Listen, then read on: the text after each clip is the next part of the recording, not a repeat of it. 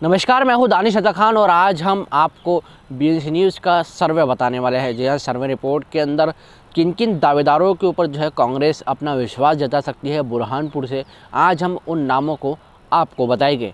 तो हमारी लिस्ट के अंदर पहला नाम है बुरहानपुर के निर्दलीय विधायक ठाकुर, परिवार से ताल्लुक़ रखने वाले ठाकुर सुरेंद्र सिंह शेरा भैया जी हाँ ठाकुर सुरेंद्र सिंह शेरा भैया की अगर हम बात करें तो ठाकुर सुरेंद्र सिंह शेरा भैया बुरहानपुर के निर्दलीय विधायक है।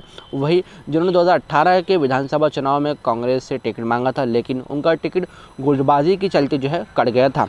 तब ठाकुर सुरेंद्र सिंह शेरा भैया ने जो है कांग्रेस से बगावत कर निर्दलीय चुनाव लड़ा। वही पूर्व मंत्री अर्चना चिटनीस को जो है पराजित कर विधायक निर्वाचित हुए। वही लंबे समय से ठाकुर सुरेंद्र सिंह शेरा भैया कांग्रेस को समर्थन करते आ रहे हैं। राहुल गांधी की भारत जोड़ो यात्रा का पीसीसी चीफ कमलनाथ ने उन्हें पर भारी भी बनाया था। हाल ही में अपने जन्मदिन के अवसर पर निर्दलीय विधायक ठाकुर सुरेंद्र सिंह शेरा भैया ने जल्द ही कांग्रेस में शामिल होने की घोषणा भी की है। ऐसे में हो सकता है कांग्रेस उन्हें जो है अपना उम्मीदवार घोषित करे।